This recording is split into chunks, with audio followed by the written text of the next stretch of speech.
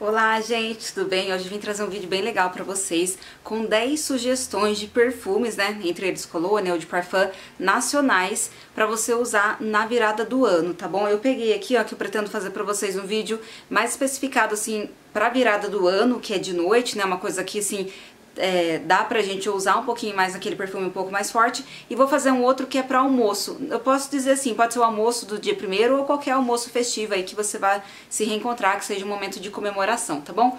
O batom que eu tô usando é esse aqui da MAC, Ruby Rum, vermelhão bem famoso.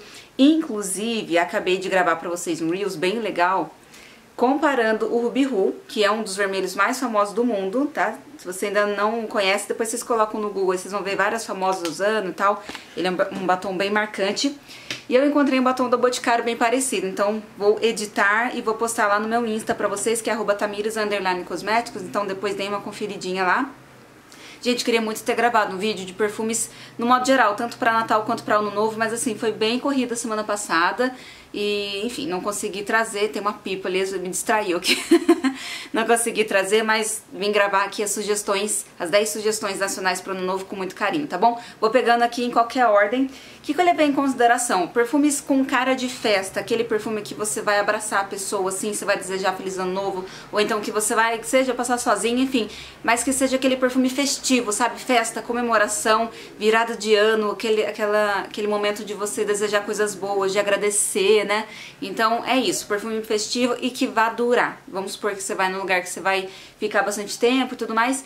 Então eu levei em consideração isso também, não só a fragrância festiva, mas também a duração, o desempenho, tá bom? Vou começar com um que aqui eu com certeza usaria, com certeza eu iria considerar usar. Acho que no passado eu quase usei ele, inclusive, e que é o Una tradicional da Natura. Eu, assim, que eu tenha conhecido de espirrar no, em mim mesmo, só conheci o Una, mas eu sei que tem vários outros Una muito famosos, muito queridos aí por vocês. Se vocês conheceram algum Una que você acha que combine com a virada do ano, que eu acho que vai ter também, me contem aqui, tá bom? Pra você que usa e tem essa, essa experiência pessoal mesmo de indicar o Una. Tô falando do, do perfume e tirei ele da, da cena aqui, né? Mas o Una tradicional, eu acho que ele é floral frutal, não me lembro exatamente da família olfativa mas ele tem um adocicado elegante, sinto também um frutado nele, eu não lembro se ele tem um lado floral, mas eu acho que sim, tá? Se tiver, tipo, é uma nota, acho que não, não é a nota principal dele. Mas ele é muito festivo, gente, ele é muito elegante, sabe? Aquele perfume que você fala assim, nossa, que perfumaço que a pessoa tá usando, que você fica na dúvida se é um perfume nacional, se é um perfume importado, porque ele é muito gostoso. E eu trago ele porque, assim, pelo menos na minha pele ele fixa muito, gente. Esses dias tava mais friozinho, eu usei ele pra trabalhar. E eu fiquei sentindo ele, ele projetando por bastante tempo, então considerando aí o desempenho, pelo menos na minha pele, eu consigo recomendar pra vocês. O próximo que eu trago pra vocês, ó, é esse aqui da Mahogany, que é o Wild Rosé, que é inspirado no Idol de Lancôme. Inclusive eu usei o Lancôme, né, o Idol, no Natal, então assim, é um perfume que eu, ambos se parecem bastante tudo mais, então recomendo bastante pra vocês. Ele não vai ter um desempenho tão alto quanto o Idol, tá? Mas em relação à fragrância aqui, ele é só você aplicar um pouquinho mais que ele vai segurar, porque os perfumes da Mahogany, no modo geral, têm um desempenho muito bom, vai depender bastante da quantidade de borrifadas. Ah, eu vou usar na virada do ano, então aplica um pouquinho mais ele é um frutado floral muito gostoso, sabe? Pra você que quer um perfume que seja marcante, mas que não seja muito invasivo, que não te incomode, sabe? Pra você ficar horas e horas com aquele perfume. É muito gostoso. Inclusive, sempre deixo o link aqui pra vocês da lojinha do Shopee da Liliane, que é a nossa parceira Mahogany, ela vende também Jequiti, o Boticário, pra quem quiser comprar pela internet, comprar pela lojinha dela, vocês podem botar tudo lá e usar um frete só, pagar um frete só, né? Vamos lá. Entrando agora, entrando agora não, porque eu vou variando, tá? Mas nessa terceira, a minha terceira sugestão aqui é de Boticário. Recomendo a vocês o Accords, tradicional de Boticário. Assim, gente, ele pra mim é, é um perfume que eu uso pra trabalhar, assim, porque eu gosto da fragrância. Então acho que vai depender um pouco de vocês, assim. Ah, Tamires, o meu Accords é meu sei lá, eu uso no dia a dia, mas pra mim, é, eu ainda assim acho que ele pode ser um perfume usado no dia a dia, mas também combina muito com a virada do ano, com essa noite mais festiva. Porque ele é um perfumão, ele é muito marcante, ele é único, sabe? O, a fragrância do Accords é única, é só dele, não tem nada igual. Ele é muito gostoso, ele é muito chique, sabe? Aquela pessoa, eu imagino assim, a cena de uma pessoa bem elegante, bem arrumada, que vai abraçar, vai desejar feliz ano novo para outra pessoa da sua família, um amigo, enfim, com quem a pessoa estiver passando a virada. É, eu consigo imaginar a pessoa usando acordes sendo elogiada, por exemplo, sabe? Nossa, tá cheirosa, nossa, que perfume bom. Então, indico a vocês o Accords. Aqui de Eudora, gente, um que sem dúvida eu utilizaria, assim, que seria uma opção que eu consideraria usar na virada do ano, é o Eudora Roxo. Da Eudora só tenho dois, então esse aqui é o que eu recomendo, tá? Mas assim, o Eudora Roxo, ele é, diz a lenda que ele é inspirado no Coco Mademoiselle, da Chanel, eu acho, né? É, eu realmente, quando eu fui viajar de férias, né, nas férias desse ano, eu experimentei, realmente parece muito, assim, muito mesmo, não sei dizer a vocês, questão de notas, ah, essa, essa que parece, essa não, mas no modo geral parece muito mesmo. Ele é muito festivo, eu usei no meu aniversário desse ano, inclusive, então assim, muito gostoso. O meu deu uma encorpada, porque quando eu abri ele, ele não era tão forte. Daí eu falei assim, caramba, mas é um de parfum, né? Precisava ser um pouquinho mais forte. Mas com o tempo, tô na dúvida se tá no foco aí com o tempo ele foi encorpando, tá bom? Então assim, é um perfume que ele, ele tem um lado frutado, um lado floral mais suave, não é, eu ia falar de, enfim, eu ia falar de uma nota aqui, mas não tem nada a ver a nota que eu ia falar. E ele consegue ser tipo um delicado, mas não bobinho, sabe?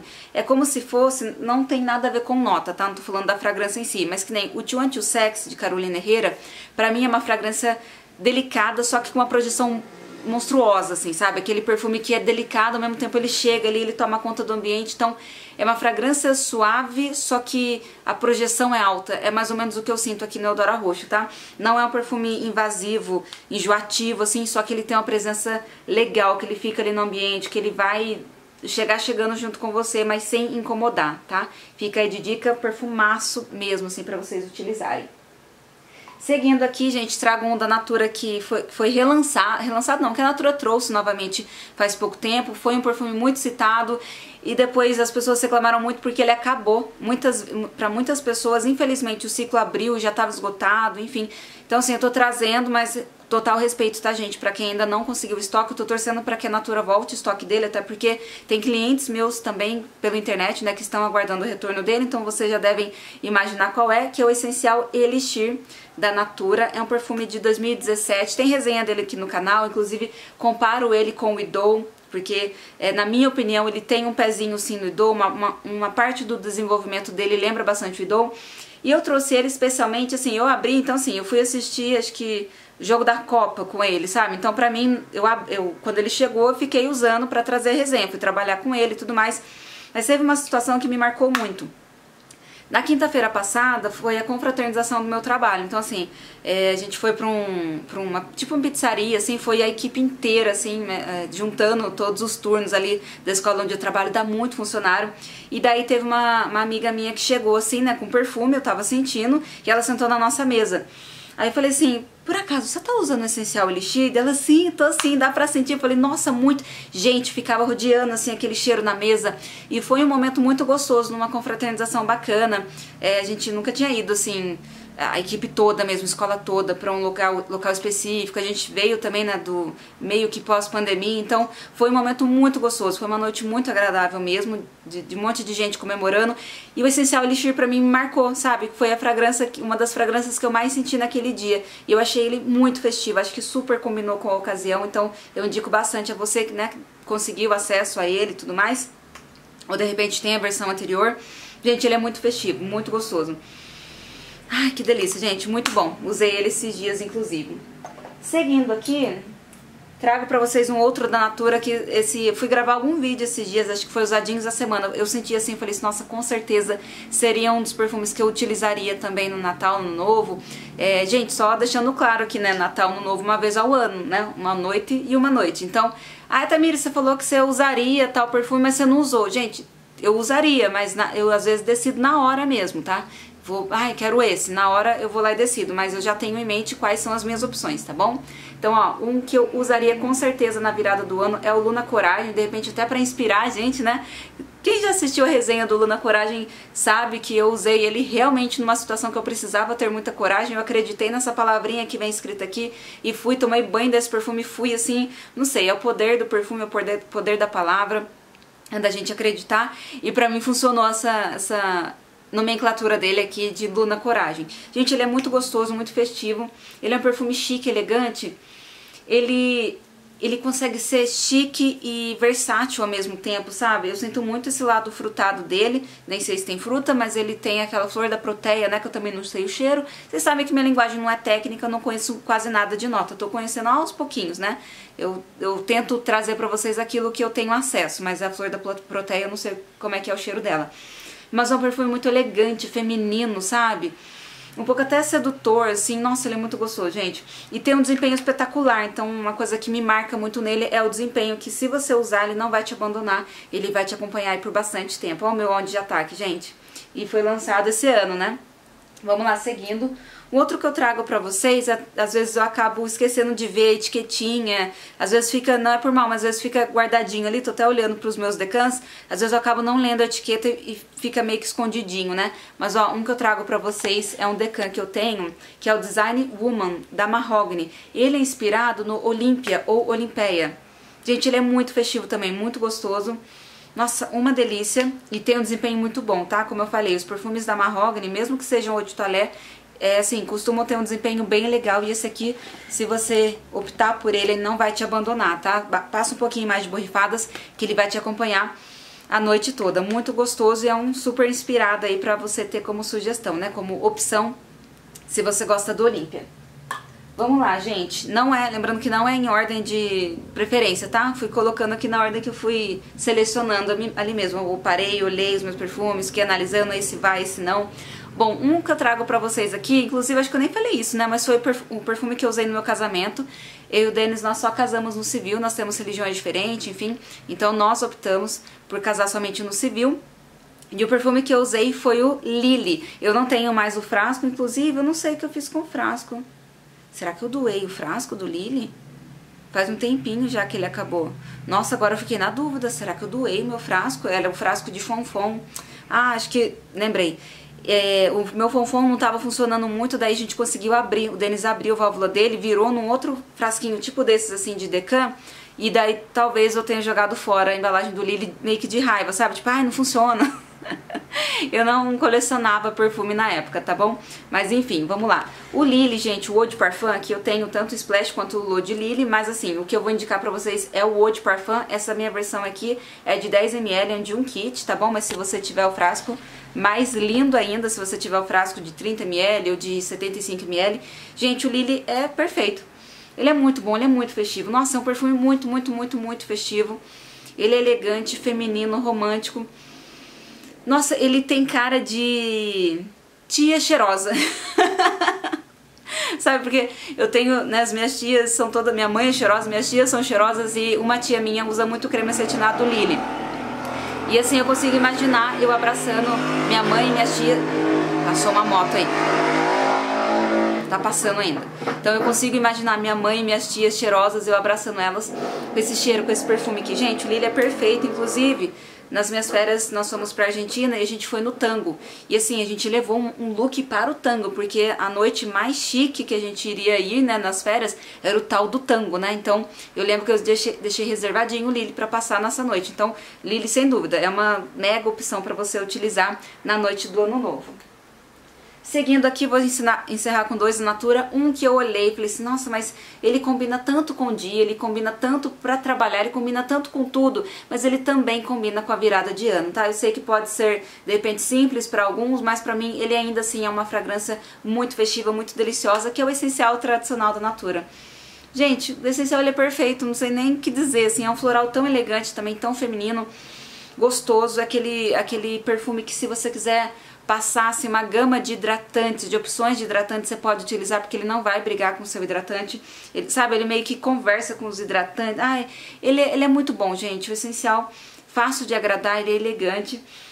Nossa, eu imagino muito assim uma pessoa usando na virada do ano. Só em relação ao essencial Elixir, ele tem um desempenho um pouquinho mais baixo, tá bom? Nessa versão nova aqui, mas principalmente para você que tem a versão antiga, pode se jogar aí porque ele vai durar bastante. Eu, se fosse usar o essencial na versão nova, eu iria espirrar bastante, até mesmo levar na bolsa, tá? Só pra garantir que ele vai ficar, porque é, se passar pouquinho ele não fica tanto. E o último que eu trago pra vocês, gente, não é uma linha assim elegante, Del Parfum, não sei o que, mas a fragrância dele é assim de dar show de elegância de festividade, que é o Biografia Encontros. Biografia Encontros foi amor à primeira vista. Quando eu senti ele, já gostei logo de cara. E olha que é difícil de eu gostar de um perfume, principalmente um perfume que, tipo assim, experimento, já gosto, é raro acontecer. Mas, gente, o Biografia Encontros é sensacional, de chique, de elegante também para você usar na virada do ano.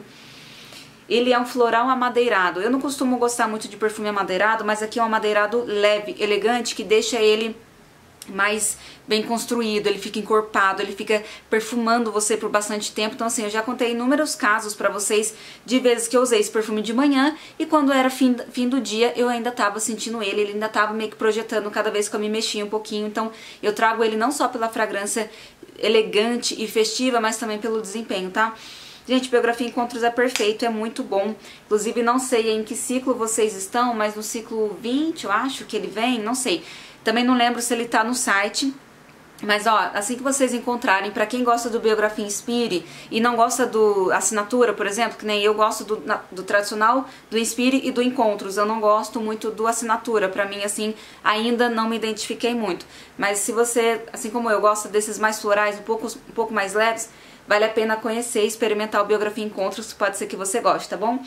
Ai, gente, que delícia. E é isso. Vou desejar aqui pra vocês, né, aproveitando o tema do vídeo. Eu sei que não vai ser o último vídeo que eu vou postar antes da virada do ano, mas aproveito aqui pra agradecer em primeiro lugar. Primeiramente a Deus, a, sou devoto de Nossa Senhora, agradeço a Nossa Senhora, agradeço a tudo, tudo que eu, que eu conquistei durante esse ano e agradeço muito a cada um de vocês que esteve aqui comigo em mais um ano, que você que é inscrito, você que ainda não é inscrito, te convido a se inscrever. Muito obrigada mesmo por esse ano que a gente passou junto. Espero ter te, te ajudado a a enfrentar de repente um dia de dificuldade, te ajudado a te distrair, a te divertir um pouquinho nesse ano e que 2023 seja um ano de muita paz, muita bênção, saúde física, mental, que seja um ano muito produtivo, que vocês realizem sonhos, tá bom? Que você que de repente tem vontade de, ah, eu gosto de perfumaria, uma buzina para estragar o meu clima de desejo, né? buzina não, não sei o que passou aí mas que você que de repente está aí com dúvida se inicia um projeto, se inicia um canal no YouTube, vai lá, inicia, começa, porque Cada um tem seu jeito de falar, tem o seu brilho aqui, tá bom? É isso. Até, não sei quantos que você vai me assistir, mas deixo aqui até 2023, tá bom? Até o próximo vídeo. Beijo, tchau, tchau.